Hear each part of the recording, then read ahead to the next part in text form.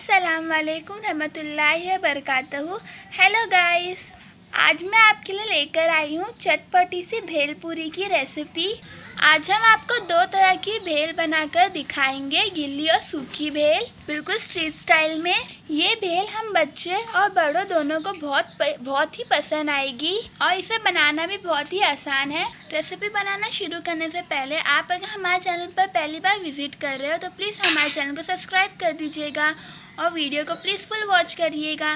तो चलिए गाइस अब हम भेल पूरी बनाना शुरू करते हैं। भेल बनाने के लिए हमने दो कप कुरमुला ले लिया है। इसमें ऐड करेंगे हम कटा हुआ प्याज, बारीक कटा हुआ टमाटर बारीक कटी हुई हरी मिर्च, बारीक कटा हुआ हरा धनिया। अब हम इसमें ऐड करेंगे थ्री टेबल स्पून भुनी भुनी हुई मसाले वाली दाल। आप सभी इंग्रेडिएंट्स आपके हिसाब से कम या ज़्यादा ऐड कर सकते हो गाइस भेल बनाने के लिए कोई भी मेज़रमेंट की ज़रूरत नहीं है गाइस आप अपने हिसाब से ऐड कर सकते हो। अब हम इसमें रोस्ट किया हुआ मूंगफली भी ऐड कर लेंगे।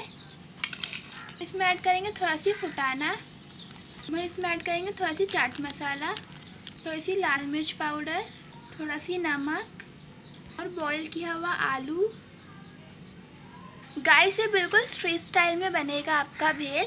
आप इस भेल को ज़रूर ट्राई करिएगा। तो इसमें ऐड करेंगे बारीक सेब हम इसमें ऐड करेंगे एक टेबल स्पून नींबू का रस। अब हम सभी चीज़ों को अच्छे से मिला लेंगे। तो लीजिए गाइस हमारी स्ट्रीट स्टाइल सूखी भेल रेडी है, अब हम इसे सर्व कर लेते हैं। हम इसमें एक सूखी पापड़ी लगा देंगे। लग रही है ना बिल्कुल स्ट्रीट स्टाइल भेलपुरी हमारी। ये टेस्ट में भी बिल्कुल स्ट्रीट स्टाइल भेलपुरी जैसी हमारी बनी है भेलपुरी चलिए अब हम गिल्ली भेल बना लेते हैं। गिल्ली भेल बनाने के लिए भी हमने दो कप कुरमुरा लिया है। इसमें ऐड करेंगे रोस्टेड मूंगफली। अब हम इसमें ऐड करेंगे भुनी हुई मसाले वाली दाल, बारीक सेब और इसमें ऐड करेंगे कटा हुआ कांदा, कटी हुई हरी मिर्च, कटा हुआ टमाटर, कटा हुआ हरा धनिया की पत्ती बॉईल किया हुआ आलू। बॉईल किया हुआ आलू ऑप्शन है गाइस आप चाहे तो ऐड करिएगा, नहीं तो स्किप कर दीजिएगा। हम इसमें ऐड करेंगे फिर से नमक, फिर लाल मिर्च पाउडर चाट मसाला। हम इसमें ऐड करेंगे खट्टी मिट्टी, इमली की चटनी।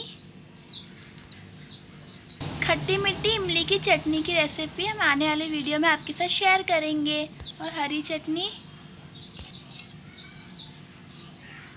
इसमें ऐड करेंगे थोड़ा सा नींबू का रस।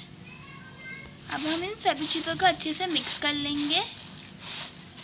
गाइस आप सभी इंग्रेडिएंट्स को इसमें भी अपने हिसाब से ऐड कर सकते हो, कम या ज़्यादा। भेल में से तो बहुत अच्छी खुशबू आ रही है और मेरे मुँह से पानी आ रहा है।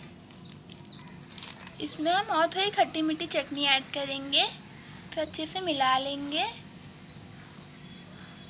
जू बीच में और स्ट्रीट में जिस तरह से भेल मिलती है, भेल, उससे भी ज़्यादा टेस्टी भेल आप घर पर इजीली बना सकते हो। अब हमारी गीली भेल भी रेडी हो गई है, अब हम इसे भी सर्व कर लेंगे।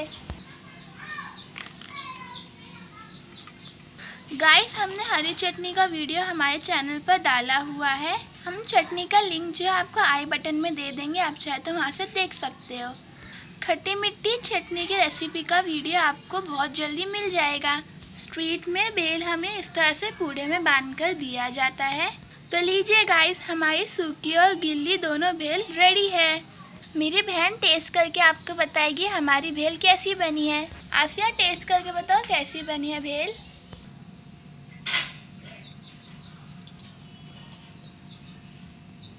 आसिया कैसी बनी है गिल्ली भेल बहुत टेस्टी बनी है। अभी सूखी भेल टेस्ट कर आसिया।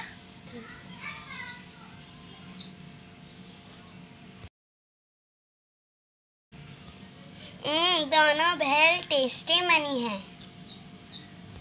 आप भी इस चटपटी सी आप भी इस चटपटी सी भेल की रेसिपी को ज़रूर ट्राई करिएगा गाइस और वीडियो अच्छी लगे तो वीडियो को लाइक कर दीजिएगा और वीडियो को अपने फ्रेंड्स और फैमिली के साथ शेयर कीजिएगा। थैंक यू फॉर वॉचिंग अल्लाह हाफिज़।